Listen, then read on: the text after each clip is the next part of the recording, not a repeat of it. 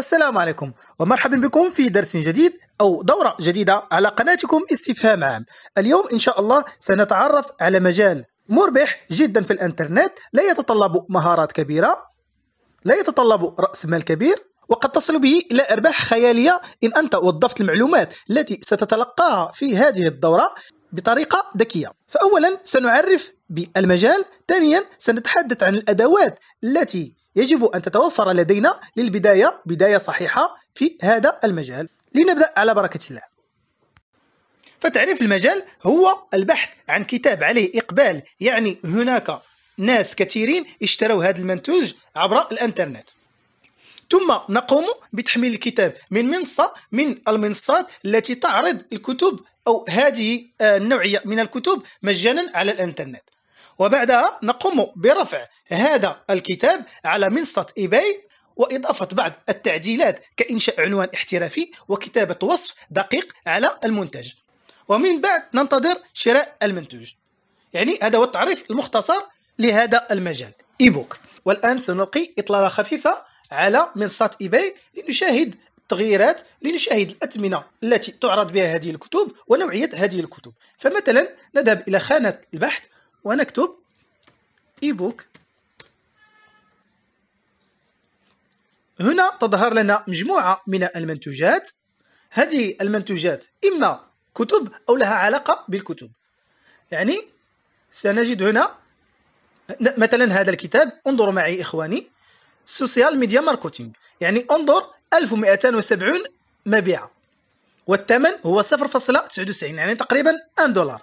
يعني تخيل معي أخي الكريم أن هذا البائع يربح من هذا الكتاب 1270 دولار مع اقتطاع مع اقتطاعات eBay واقتطاعات PayPal التي تصل تقريبا إلى 15% يعني قم بعملية بسيطة حسابية وستجد أن هذا الكتاب يدر دخلا جيدا على هذا البائع.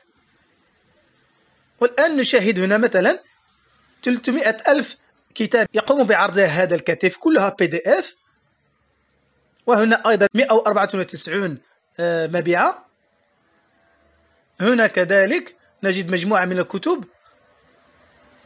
يعني مجموعة كبيرة من الكتب في مجالات متعددة. يكفيك أخي الكريم أن تقوم ببحث بسيط آه الآن السؤال المطروح هو أريد البدء في هذا المجال ما هي الأشياء أو الأدوات التي يجب أن تكون لدي من أجل الانطلاق في هذا المجال؟ فأولا أخي يجب عليك أن, أن تتوفر على حساب بنكي مغربي أو على حساب بنكي مصري أو جزائري على حساب الدو الدولة التي تنتمي إليها. زائد بطاقة بنكية تابعة لهذا البنك تقبل تفعيل PayPal وهذا هو المهم عندنا. ثم حساب PayPal مفعل ثم حساب eBay ثم رأس المال يعني رأس المال هو النقطة الإيجابية الكبيرة في هذا المجال أنه لا يحتاج رأس مال كبير يعني 30 دولار فهي كافية وكافية جدا. ثم النقطة الأخيرة والتي سأركز عليها أكثر هي العزيمة والإرادة والعمل والمثابرة أخي الكريم لأن لا شيء يأتي بالسهل خصوصا أننا نتحدث عن الربح من الإنترنت وهذه الكلمة دائما أعقب عليها فلا يعتبر هذا ربحا من الإنترنت بقدر ما يعتبر عمل على الإنترنت لأنك تبذل مجهودات كثيرة من أجل أخذ هذا المال وليس ربحه.